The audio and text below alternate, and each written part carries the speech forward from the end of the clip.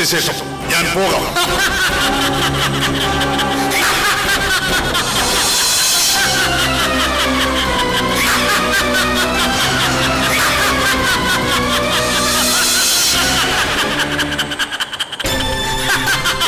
എന്നെ നശിപ്പിക്കാൻ നിനക്കാവില്ല. പക്ഷേ നിന്റെ നാശം ഞാൻ കാണും. രക്തദാഹിയായ നിനക്ക് എന്താണ് വേണ്ടത്? അത് ഞാൻ നൽകാം. രക്തദാഹിയായ എനിക്ക് രക്തമാണ് വേണ്ടത്. ആരുടേതായാലും എനിക്ക് രക്തമാണ് വേണ്ടത്. അതാരുടേതായാലും എനിക്ക് ആവോളം മതിയാവോളം കുടിക്കണം. എന്റെ നിനക്ക് തരാൻ കഴിയുമോ?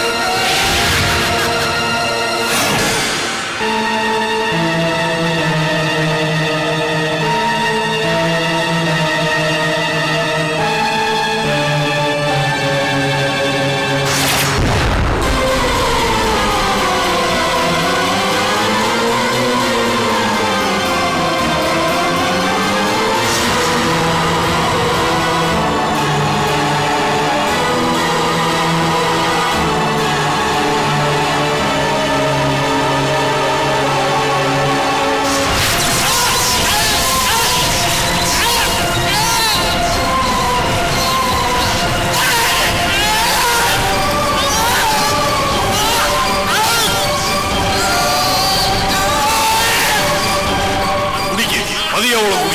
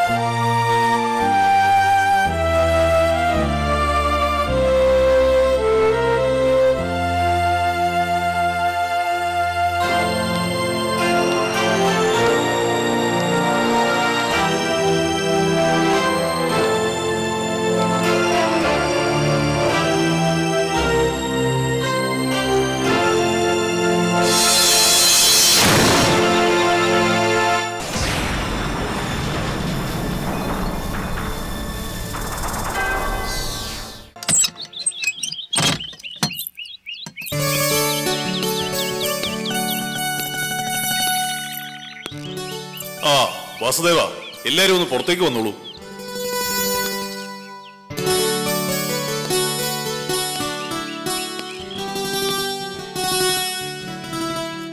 ഇനി എല്ലാവരോടുമായിട്ട് പറയുക. ഈ ഭവനത്തിൽ ചില ദോഷങ്ങളൊക്കെ ഉണ്ടായിരുന്നു. അതൊക്കെ ഞാൻ ഇനി എടുത്തിട്ടുണ്ട്.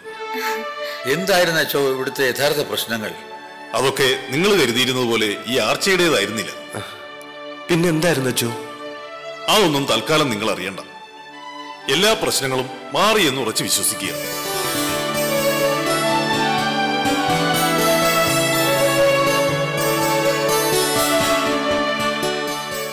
എന്നതായാലും ഇനി ഈ കുടുംബത്ത് ഒരനർത്ഥവും ഉണ്ടാവുകയില്ല. കർത്താവ് തമ്പുരാൻ തന്റെ ജനത്തെ വീണ്ടെടുത്തത് വിലയേറിയ സ്വന്തം രക്തം കൊണ്ടാണ്.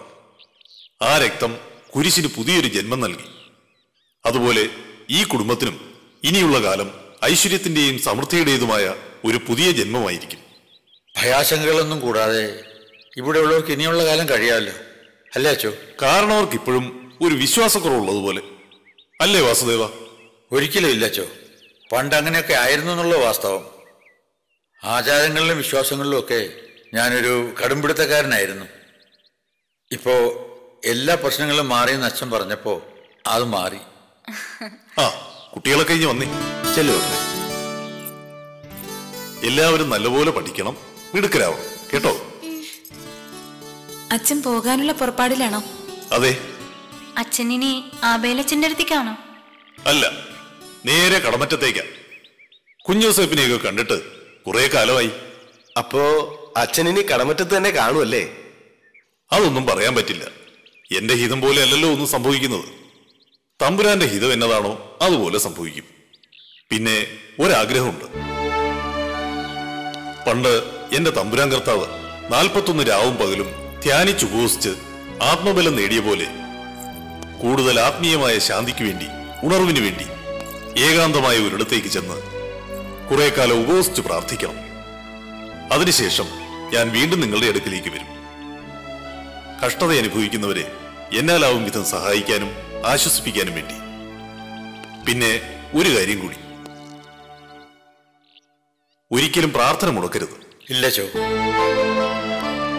സത്യം വധ ധർമ്മം ചര എന്ന പ്രമാണത്തിൽ വിശ്വസിക്കുന്ന ഹൈന്ദവരും ഈശ്വര മഹത്വത്തിന്റെ പേരിൽ സക്കാത്തു കൊടുക്കുന്ന മുസൽമാനും ശിഷ്യന്മാരുടെ പാദങ്ങൾ കഴുകി വിനയം പഠിപ്പിച്ച ക്രിസ്തുവിന്റെ അനുയായികളും മനുഷ്യൻ തീർത്തും നിസ്സാരനാണെന്നറിഞ്ഞ് അവന്റെ നിസ്സഹായത പൂർണമായും മനസ്സിലാക്കി വിദ്വേഷവും അഹന്തയും വിടിഞ്ഞ് ഹൃദയത്തിന്റെ ആഴങ്ങളിൽ നിന്ന് ദൈവമേ എന്ന് നീട്ടി വിളിച്ചാൽ ആ വിളിക്ക് ചെവി താഴ്ത്താത്ത ഒരു ദൈവവും ഇഹത്തിലും പരത്തിലുമില്ല. അതറിഞ്ഞ് എല്ലാവരും ഹൃദയശുദ്ധിയോടെ തനിക്ക് വേണ്ടിയും ലോക നന്മയ്ക്ക് വേണ്ടിയും നിരന്തരം പ്രാർത്ഥിക്കണം.